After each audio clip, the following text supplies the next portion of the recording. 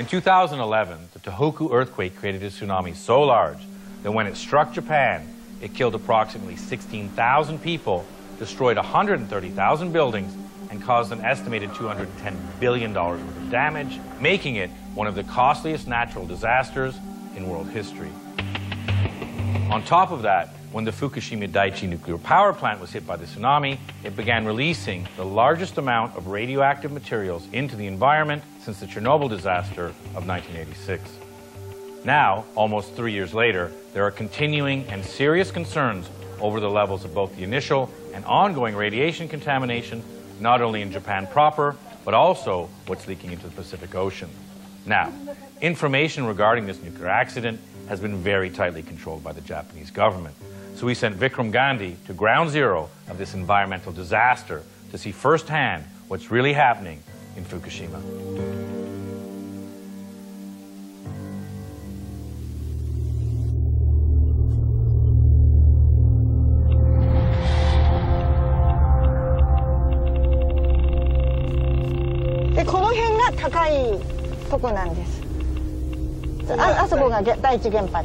Ah, that's the Daiichi plant? More than 160,000 residents were evacuated from the contaminated towns which surround Fukushima.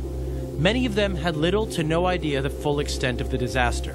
初めてその時はそのこんな戻れないとは思わなかったですから23日で戻れるんだろうと思って We were able to get special access to the exclusion zone by tagging along with the Yamada family as they visited the home they abandoned three years ago. いや荒れてるすごい。 すごいそもそもはその私たちが逃げていく先のこれをまあ戦争の歴史ですよねあこれでどのぐらいあるか The Japanese government has declared most of these ghost towns unlivable. But what is more disturbing is what they are not telling us. 諦めよ In the days following the tsunami, a series of explosions ripped through three of the Fukushima reactors. Despite global concern of a potential nuclear catastrophe, the Japanese government downplayed the severity of the situation. As a member of the Japanese House of Representatives at the time of the disaster, Hiroshi Kawauchi witnessed firsthand the inadequacy of the government response. Do you think the government is lying about the extent to which the damage has been created by this accident? この福島事故が引き起こしている危機についての認識が政府にはあまりないのではないかと。福島第一原子力発電所から空気中に放出された放射性セシウムの総量は広島型原爆の放出した放射性セシウムの量の168倍であると。じゃあどう対処するのかということになるといや大丈夫です大丈夫ですと。Wondering how radiation levels 168 times worse than Hiroshima could ever be perceived as okay, we decided to investigate further. In this school, there's an NGO that's going around testing people for thyroid cancer. Thyroid cancer is one of those diseases that's caused by radiation. Inside, we met with Dr. Masamichi Nishio, who is in the midst of testing local children. 明らかに被爆していることは事実ですから ですから本来は進むべきところではないです。ところが一切そういうことは言わない。事故を隠蔽するっていう姿勢がもう前面に出て。Have you been told that there should be warnings because you're going to have a child? 子育てしてる上でもあの普通に食べ物でも環境でも特にここに注意してくださいっていうのはないですが個人的に。たくさんありますね。たくさん隠してますだからモニタリングポストの値なんかでもそもそも低く抑えてるわけです The monitoring posts that he's referring to are government funded Geiger counters, but the problem is that many locals believe that the government has only cleaned up in the area immediately around them. Mrs. Kayoko Hashimoto has made it her personal mission to uncover the truth. いくら計算しても数値が合いません国が出してきた数値に対して0.27 0.33 0.39 The whole concept of these stationary Geiger counters becomes suspect when only a few feet away the readings are twice as high. And when you move even further away, those government monitors start feeling completely irrelevant. Over here by the edge of the school, We're going to leave it there for a second. Oh, shit. So the reading is now 3.5. That level is 20 times higher than the monitoring post around the corner, on a playground at an elementary school. But why does this all matter? To get a better understanding of the long term effects of radioactive contamination in our global ecosystem, we went to Okinawa to meet Dr. Joji Otaki, a researcher at the University of Ryukyus, who has focused his research on an unlikely subject. The lifespan of butterflies is only about one month, so the effects of radiation in contaminated food over the course of multiple generations can be studied in a short span of time. We collected host plant leaves from Fukushima, and uh, those leaves are given to larvae uh, collected from Okinawa. So those larvae are, are supposed to be healthy, but uh, they ate contaminated food from Fukushima. Then we see what happens. What happened? They died. Dr. Otaki's experiments have showed the truly horrifying effects contaminated food can have on living organisms. So this is a normal butterfly that has eaten healthy food. That's right.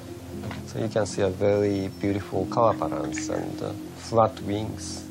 Next up was a butterfly that ate contaminated food at the larvae stage. Immediately you can see the wrinkled wings. Doesn't really even look like a butterfly anymore. No. And we found that the mortality rate and abnormality rate of the second generation is much higher. And then the third generation? Even worse in the third generation. The evidence that contaminated food has increasingly worse effects over the course of generations is especially scary since one of Fukushima's primary industries is agriculture. 49 miles from the Fukushima plant is the farm of Kazuya Tarukawa, tended by his family for eight generations. In the days after the tsunami, the government allowed them to continue to sell their produce as usual. The current state mandated limit for radiation in produce is 100 becquerels per kilogram.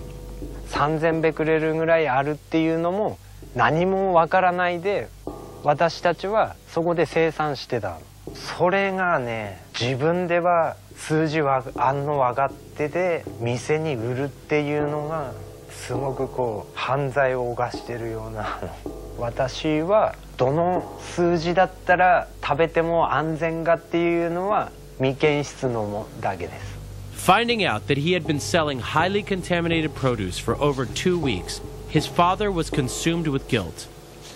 ここにこうあった木に In the three years since the accident, Terakawa's farm has been cleared to sell crops once again. This was accomplished through an official government decontamination process. They come in, scrape up the top layer of soil, load it into trash bags, and haul it away. And as of now, they have no idea where to permanently store the 250,000 tons of contaminated soil that sits stacked around Fukushima. And as explained to us by physicist Michio Kaku, this is only the beginning of Fukushima's long term problem. Realize that we're 50 years into the nuclear age and we still don't know where to put the nuclear waste. We're literally making it up as we go along. Why should the world be worried about that? In a normal nuclear power plant, and even your car radiator, there is a loop. A loop that circulates cooling water, keeping the engine of your car cool. At that reactor, in March, we had a tsunami, a wall of water 40 feet tall, which knocked out the cooling system. Without the cooling system, the core begins to crumble, melt, and we have the danger of explosions. The disaster caused irreparable damage to the reactor's cooling system, which led to a triple meltdown. Even now, the system is not functioning normally. A few hundred tons of groundwater are washing underneath the plant every day and being exposed to radiation. That water must be removed and placed into storage tanks. 400 tons of clean water every day, and then it flushes out as 400 tons of radioactive water. And as a consequence, they're piling up tank after tank of contaminated water. Since the explosion, they've hastily built and filled over a thousand tanks, which are now surrounding the plant and holding over 90 million gallons of radioactive water. So what are they doing with it? They're just Nothing. No one knows what to do with it at the present time. Not only do hundreds of tons of radioactive water go into these tanks every single day, but to make it even worse, The tanks themselves are leaking. 300 tons worth of radioactive water leaked right into the ground, even after weeks of denying that any such leak had taken place. Who knows how much of it is washing into the ocean? We went to TEPCO's headquarters to try and get a direct answer on their lack of transparency, but they wouldn't even let us in the building. The head of PR met us on the front steps, flanked by handlers. 我々は基本的に情報公開をきちんとやっていくことは大事だと思っておりますし It took TEPCO two years to admit that 300 tons of contaminated water were going into the Pacific Ocean.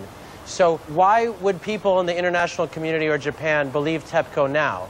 申し訳ないですけどもうそれ以上 Sorry, but it's really out of time, so. TEPCO's representatives wouldn't talk to us, but we were able to track down one of their employees, who, as long as his image was concealed, was willing to tell us what he believes is the real extent of the damage.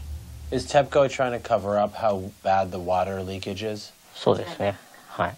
それ以外にも非常にたくさんの大きな問題、そういったものが無数にあります。事故から3年近く経ちますが、その中で最初の頃に ポンプであったり、ホースであったり、そして建屋そのもの、そういったものが次々と、えー壊れ始めています。それはだんだん悪くなっています。それぐらいの大きなトラブル、また冷却が止まってしまったりするというようなことが可能性もゼロではないと思います。Hearing more about the terrible conditions in the facility, we needed to see it for ourselves. After numerous attempts to gain access to the Daiichi facility, we were finally granted permission, but only if we were accompanied by an appointed government official. We are driving right now with uh, Mr. Kino, who is from the Ministry of Economic, Trade, and Industry. He's on a mission to show everyone that there's nothing to be worried about. That doesn't sound good. Despite the high radiation levels and the government mandate that all visitors within the exclusion zone need to wear protective suits, Mr. Kino refused to wear any protective gear at all, explaining he wanted to show our cameras and the world that the Fukushima area was safe. These guys are wearing suits.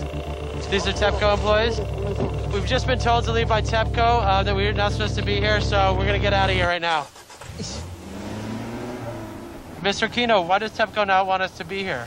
うーん理由はよくわからない Clearly, there's more going on here than TEPCO or the government is willing to admit.